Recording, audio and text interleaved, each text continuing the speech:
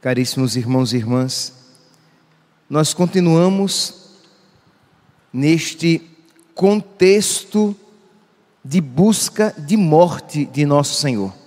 Nós já vimos, desde o evento em que Jesus cura aquele doente na piscina de Betesda, que os judeus querem matá-lo, que os judeus nutrem ódio, alimentam ódio no seu coração.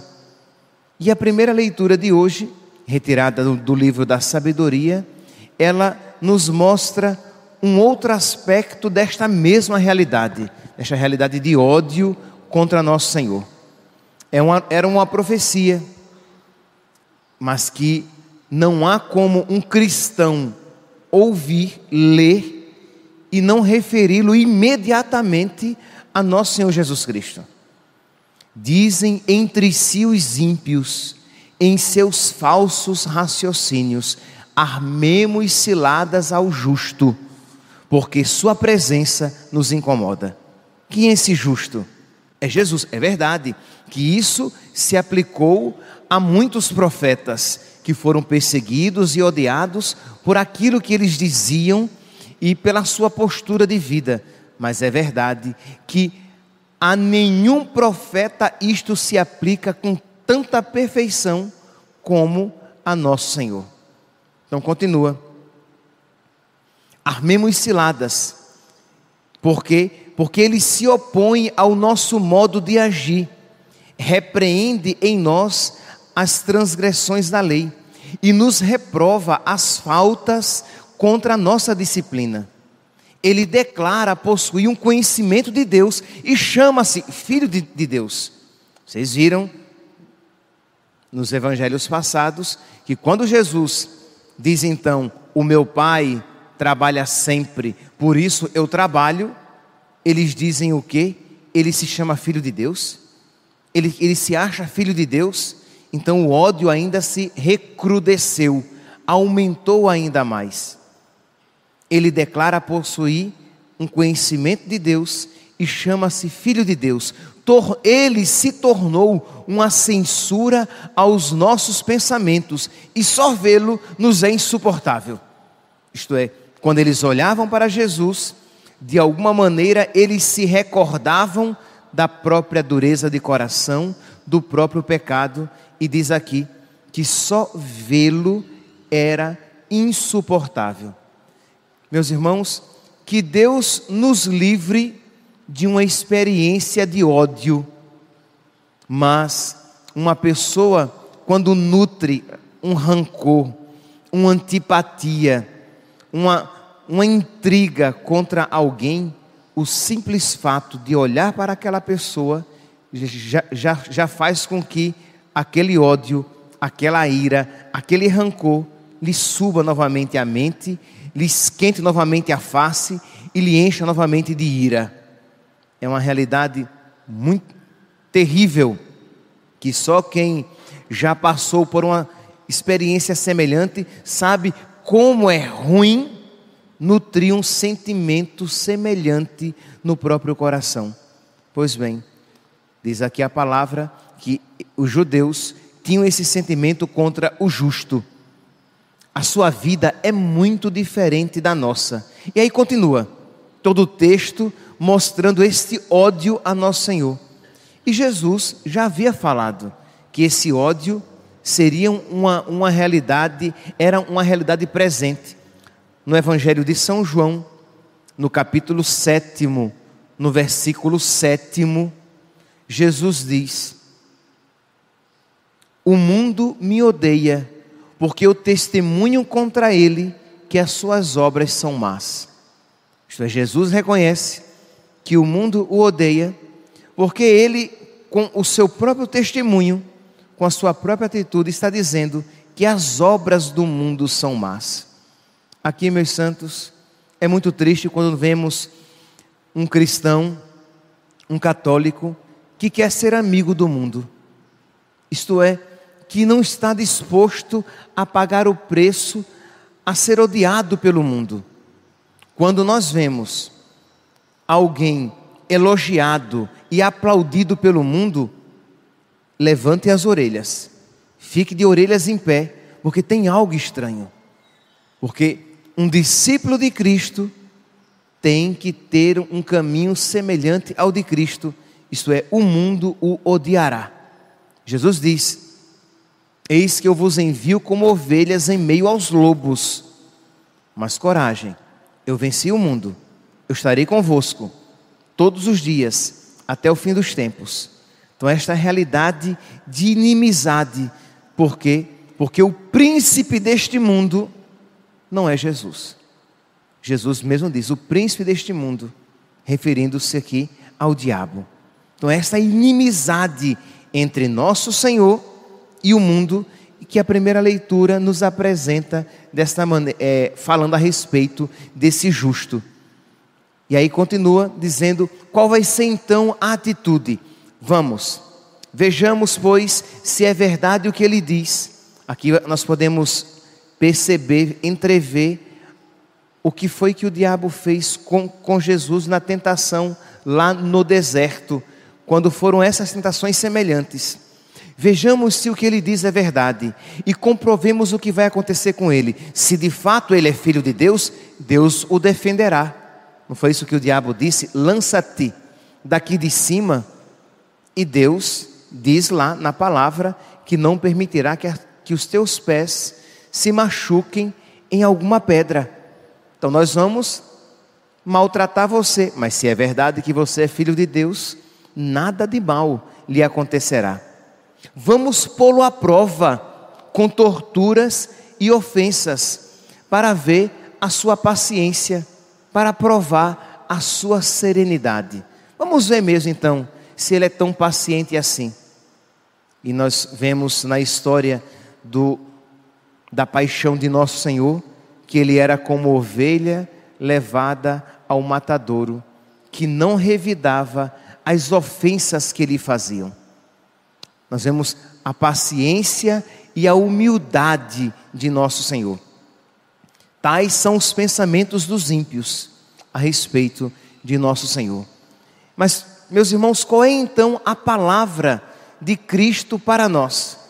Diante de todo este sofrimento, diante de toda esta maldade, diante de toda esta provação, Jesus olha para nós e diz: Aprendei de mim, que sou manso e humilde de coração. Jesus nos chama a segui-lo por esse caminho.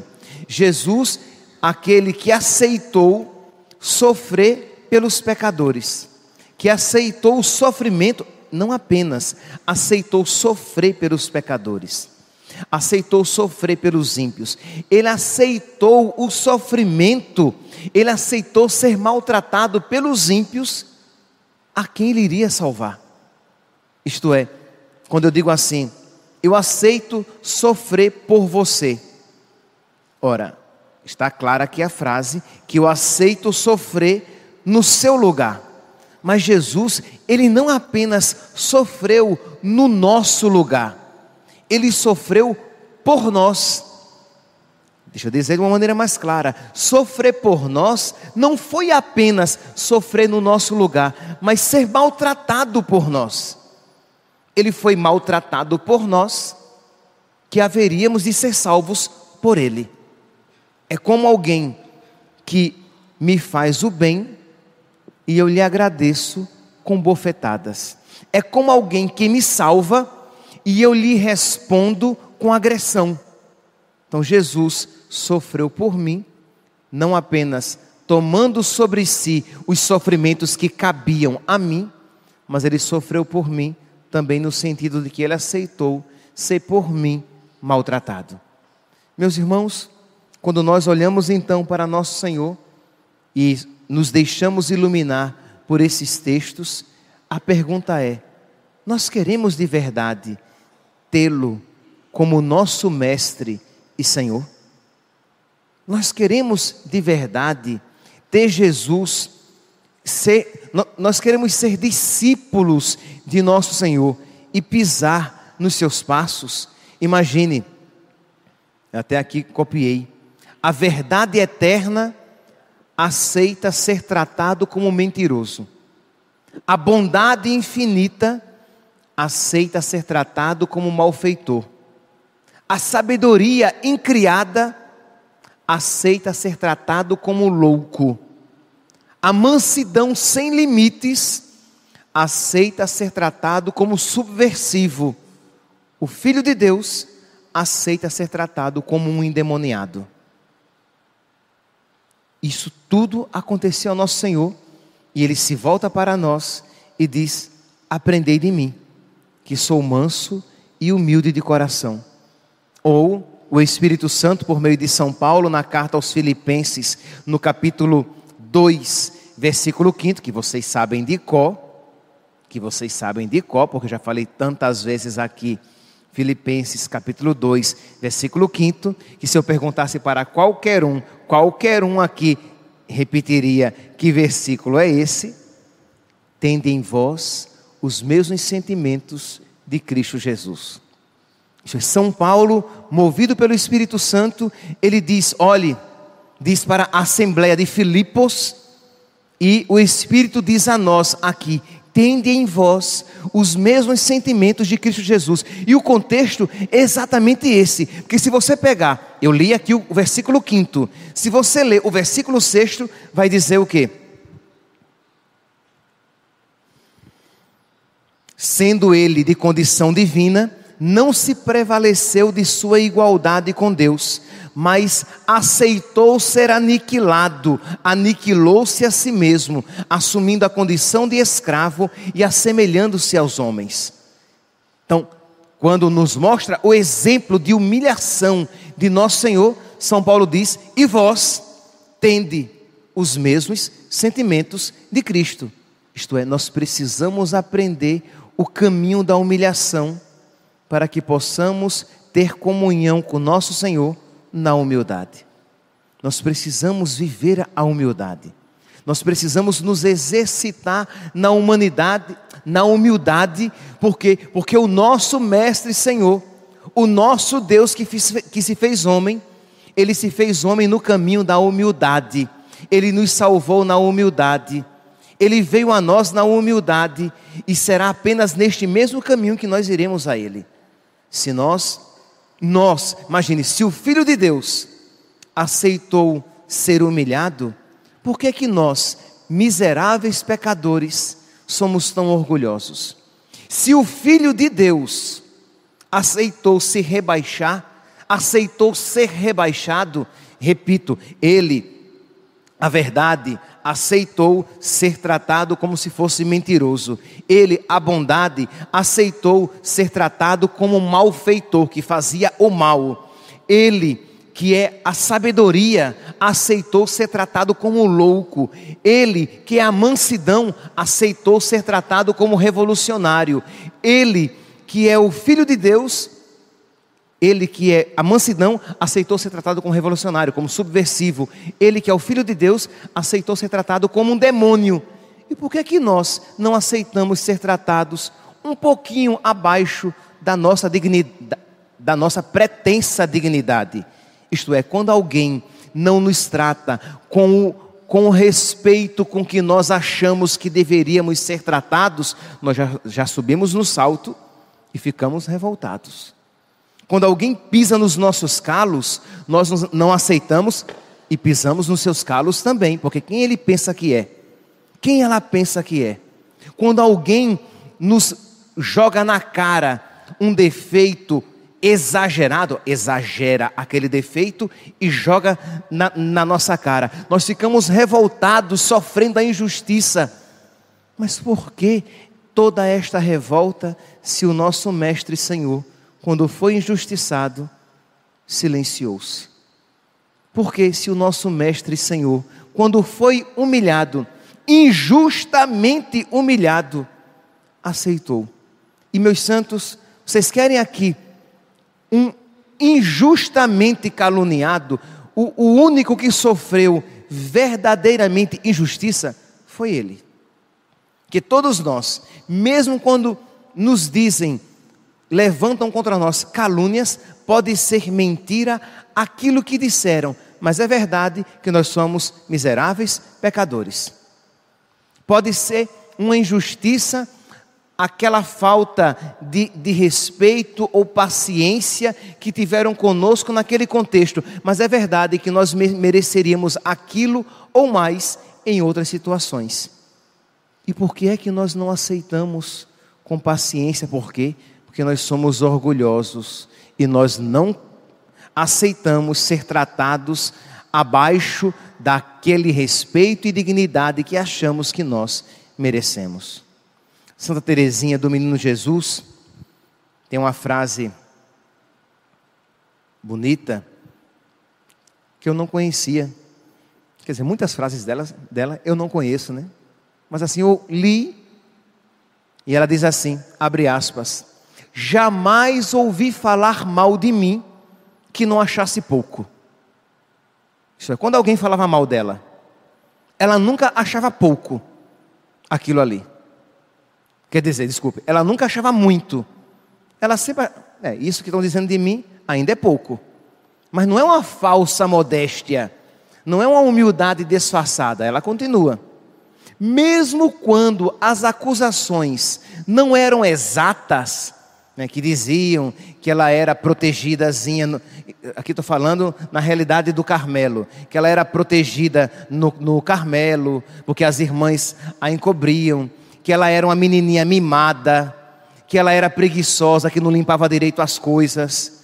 Então ela diz: mesmo quando as acusações não eram exatas, eu me lembrava de outras ofensas que eu tinha feito a Deus e que por aquelas eu não sofria e que ninguém me jogava na cara. Então quer dizer, se aquelas ofensas não eram corretas, mas eu mereceria muitas outras por ofensas que eu fiz a Deus e que Deus não me jogava na cara e que ninguém estava me, me criticando por aquelas, de modo que nunca nenhuma ofensa a mim era pouco, era muito, era sempre pouco. Quando a nossa postura é sempre o contrário. Quando nos criticam um tiquinho, nós já, já nos sentimos revoltados, tristes, amuados, não amados, não queridos.